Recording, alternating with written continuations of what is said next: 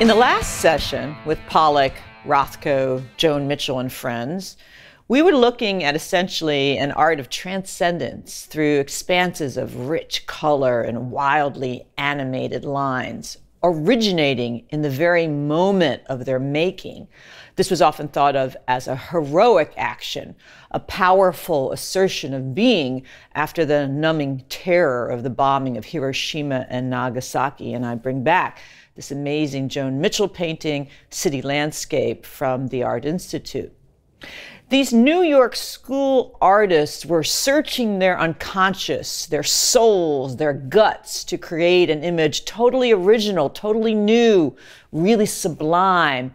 And then what follows is this the hamburger, Oldenburg's hamburger, yes, pop art, whose subject matter was no longer the interior world of the subconscious, but rather the stuff of everyday commodities and the mass media that was exploding all around them. Abstract Expressionism had become the academy. It was the reigning style of the 50s. Everyone was dripping paint a la Jackson Pollock as a gesture of self affirmation in the face of that dark existential abyss. And then whammy, Warhol's Campbell's soup paintings. So there is an incredible shift in aesthetics between the New York school and the pop artists. And what we witness in this transition, perhaps, in the 1960s is the end of modernism and the beginning of postmodernism.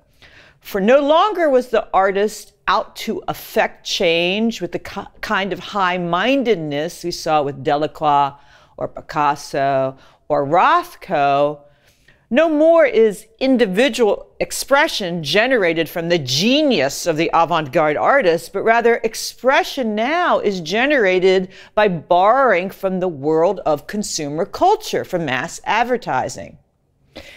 Despite the art capital shifting from Paris to New York after the war, the abstract expressionists, the New York School, as the first American avant garde, were really just continuing the traditions of their European predecessors. And we talked about this in our last session. And here again is Barnett Newman compared with Piet Mondrian.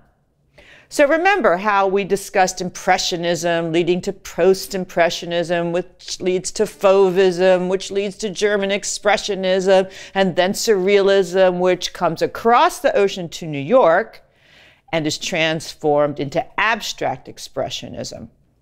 The New Yorkers continued as modernists. They believed in the new, they believed in the original, they believed in the avant garde.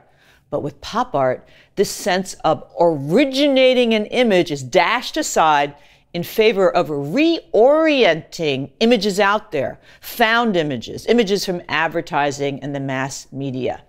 Here's Warhol's Coca Cola bottles from 1962, which is no longer about utopic blueprints for living, right? This is Mondrian or Kandinsky, but rather an expose of what we already know, what we're already about. It's a it's it's work that speaks to our media saturated culture and the predominance of goods under capitalism.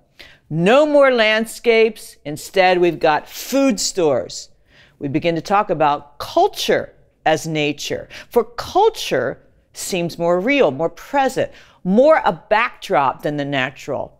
We are living in a world of signs rather than a forest of trees. Culture as nature. This is a key thesis as we move forward.